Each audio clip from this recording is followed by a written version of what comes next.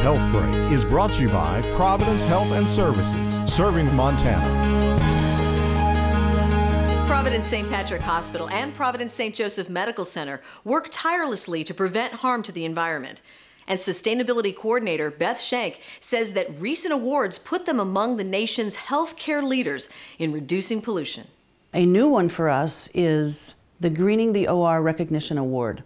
This is an award that acknowledges hospitals who are starting to focus on particularly pollution coming out of the operating rooms. Another award that we won, and we have won in the past, is we are in the Leadership Circle for Energy. These awards both help the environment and help reduce the cost of healthcare. Contributions which are recognized by the third award. Called the Emerald Award, and that recognizes hospitals with a robust and integrated program for environmental stewardship. And St. Joseph Medical Center in Polson was awarded as well. They have won uh, this year the Partner Recognition Award. We kept 51.3% of what would have gone into the landfill out. When we started this work 12 years ago, we were recycling about 1%. I'm astonished by these numbers. To find out more, visit montana.providence.org.